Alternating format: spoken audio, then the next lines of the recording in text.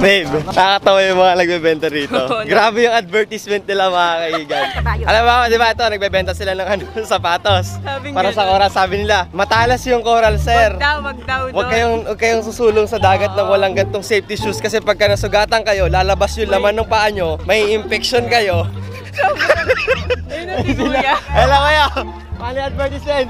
Oh, pag, pag wala kayong suot na pang self-defense sa paa. Oh, lalabas yung laman sa paa, di ba? Oh, lalabas infection. yung laman ng ano, ng ta- paa mo. Oo, infection yun. May infection. Kaya kailangan bumili talaga, ano boss? Oo. Oo. Kapag ka nagtipid ka, Wala ka. walang mangyayari. Kaya dapat bumili kay Manong. Tapos alam niyo kung ano yung magandang huling salita ni Kuya. Hmm. Walang sisihan na.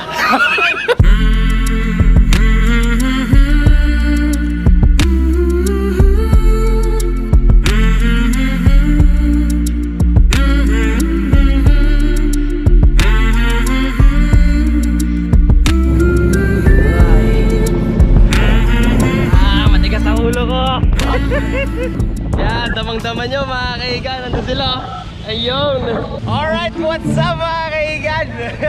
panibagong araw, panibagong kataratuwa na naman. What a wonderful view mga kaigan. Tignan nyo. Kaliwaan yan. Yan. Kaliwaan. Yung view dapat ang kinakaliwa, hindi relasyon mga kaigan. Papunta na tayo dun sa Coron Island dyan. Ino ni Jason, guys. Abi, hindi sa'yo kasha yan. yan. Red horse pa. Ay na naman neto, ayaw ayusin yung sarili. Ayoko umitim, bakit ba? Mahirap na umitim, Diyos may marimar. Ayusin mo naman, ah. Katawa-tawa na nga yung tsura ko, baka pagtawanan niyo pa ako lalo ah. Ang gwapo-gwapo mo kaya.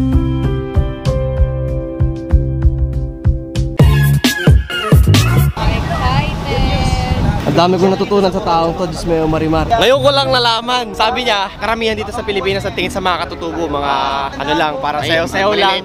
O sayaw-sayaw, tas hindi nila alam na mabababa tingin nila sa katutubo. Let me educate you sa aking natutunan for today. Nakikita niyo yung islang yan? Kanila lahat yan. Yung mga fee na binabayaran dito sa entrance, sila yung kumukuha nun. Lapan tax. Oo, kapag ka nag, ah, bawa, di ba sa Maynila, Happy Tea, Happy Friday.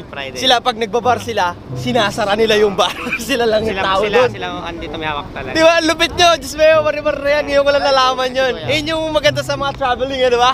Di ba? Diyos mayo, marimar, mayayaman pala yung mga katutubo dito. Yes, sir. Ano ba tawag sa mga katutubo dito, boss? Mga katutubong Tagbanwa, sir. Sila yung mga Tagbanwa. Tagbanwa. Kung meron kaming ah, fan na katutubo na Tagbanwa dyan, hello sa inyo lahat dyan, saludo ko sa inyo. Pamanahan nyo naman ako ng isang isla. Ilibre nyo naman ako sa alin. Tapos may mga nakita niya mga cake, ano? Oh, kanila yan. Di ba, napakaganda mga cake. Diyos mo yung marimar na yan. Oh, yan ang isa Oh sa my mga God. sinatigan ng Jezebel nung araw. Ayan, dyan daw nag-shooting ang Jezebel. Saan dyan? Ito po yung dalawang islands na yan. Isa sa mga nabigyan ng ano, na... Ito, ito si Sergio. Bakit parang kamukha ni Pulgoso? sulit na sulit mga kaigan, no? kakadating pa lang napakadaming picture na inagawa. Diyos mo marimar na yan. Diyos mo marimar na yan mga kaigan. Eto na naman tayo. Nandito na naman tayo sa may bangka na sinabi ko sa inyo na dapat enjoyin nyo to, tong bakasyon. Sinabi ko rin to sa inyo last year mga kaigan. Hindi ko alam kung ba't paulit-ulit nangyayari. Nagburakay kami. First time, nagandahan kami, bumalik na naman kami. Nag-Singapore kami, first time, nagandahan kami, bumalik na naman kami. Nag-Coron kami last year, first time, tapos bumalik na naman kami dito. Tignan niyo mga kaigan, napakaganda. Oh my God, Instagrammable pictures. Diyos mo yung marimar na yan.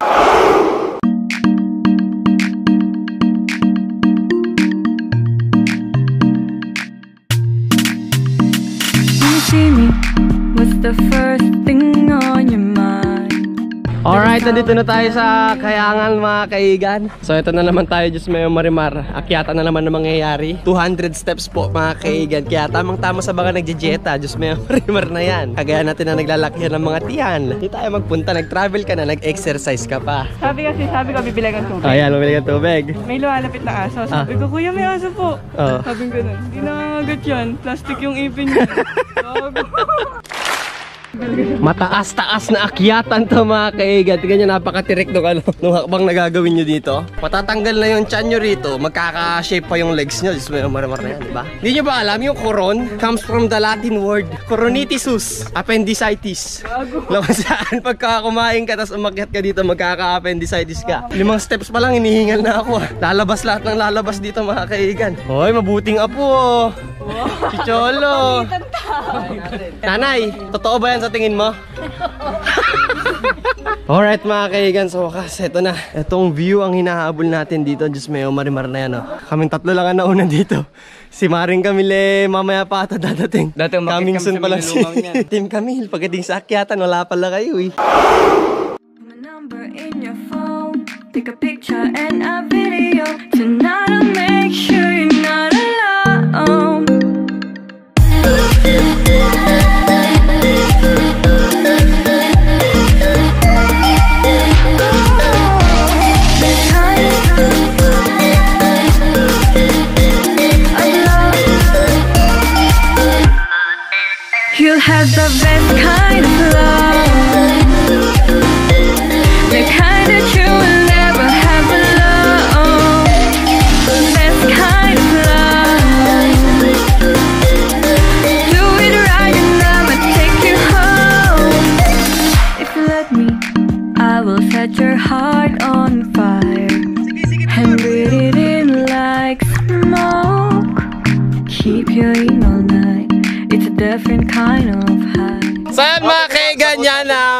Kakatapos na namin sa isang isla. Diyos may marimar na yan. Hindi talaga ako nawawala ng sugat sa koron. Ayan o, oh, binigyan na naman siya ng panibago sugat. Diyos may marimar na yan. So kakain tayo ng buko. Iinom! Dahil, ay, kaka kakainin din yon. Diyos may marimar na yan.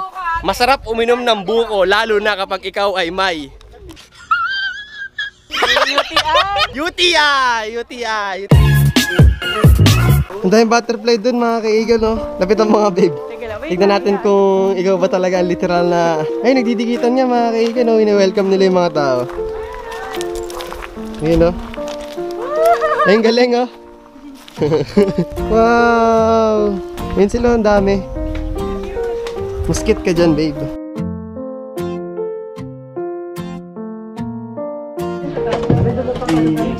Oy, halika dito. Sabi sa sign, do not leave your valuable things unattended. Bakit? Halika dito. Mahalik ka sa akin eh.